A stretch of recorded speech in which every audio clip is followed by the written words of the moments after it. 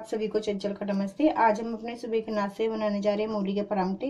हमने अपनी मूली धो के, कस के और इसमें नमक डाल के हमने पहले अच्छी तरह से नचोड़ लिया। अब हम इसमें मिलाने जा रहे हैं अपना मसाला। इसमें हम डाल रहे हैं दो हरी मिर्च कटी हुई, धनिया।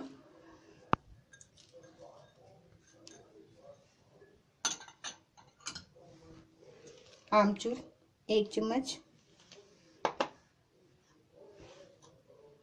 धनिया पाउडर, दो चम्मच।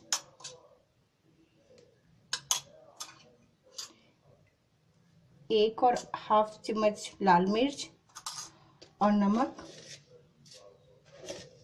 अपने स्वाद अनुसार। और थोड़ी सी इसमें डालेंगे अजवैन, जिससे हमारी पेट में सही रहेगा। हाजमा सही रहता है अजवैन खाने से। हम इन सब चीज़ों को कर लेंगे अच्छी तरह से मिक्स आप जो ध्यान रखें कि जब भी आप मूली के परांठे बनाते हैं, आप पहले अपना आटा वगैरह लगा के पहले से तैयार रखें, क्योंकि इसमें नमक डालते के साथ ही मूली पानी और छोड़ने लग जाती है। इसलिए जैसे आपको बनाने हो, तभी इसमें आप नमक डालें। हमने अपनी मूली में मसाला अच्छी तरह से मिला लिया। अब हम अपने परांठे बनाना स्टार्ट कर रहे हैं। हमने आटे की एक लोई ली है। उसे ऐसे करके प्रेस करके अंदर की तरफ़ भरने के लिए मूली को कर रहे हैं, इसमें हम अपनी मूली भरेंगे। इसमें हम अपनी मूली भरेंगे।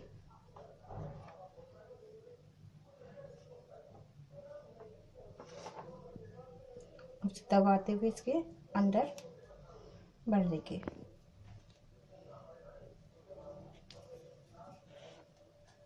धीरे हाथ से अपना परामठा बेलेंगे, क्योंकि मूली के परामठे कई बार फटते हैं।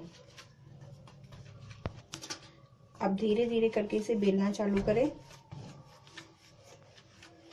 हमने अपना परामठा बेल लिया, अब हम इसे धीरे से अपने तवे पे डालेंगे और धीमी आँच पे इसे सेक देंगे जब तक हमारा पहला परामठा बन रहा है, जब तक हम अपने दूसरे परामठे के लिए अपने आटे में मूली भर लेंगे। हमारा ये परामठा एक तरफ़ से सीख गया, अब हम इसमें लगाएँगे अपना तेल और इसे धीरे गैस पे सेकेंगे।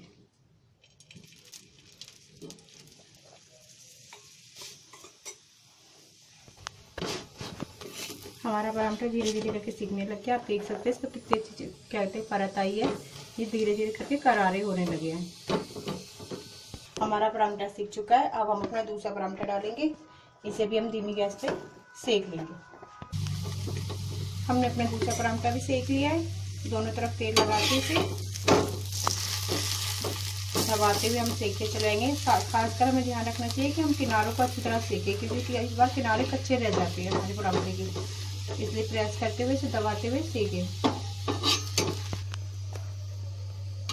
हमारे परामठे बन के तैयार है। अब हम उनकी करेंगे प्लेटिंग हमारे मूली के परामठे बन के तैयार है। अगर आपको मेरे मूली के परामठे बनाने का तरीका अच्छा लगा हो तो मेरे वीडियो को लाइक सब्सक्राइब ज़रूर कीजिएगा। धन्यवाद।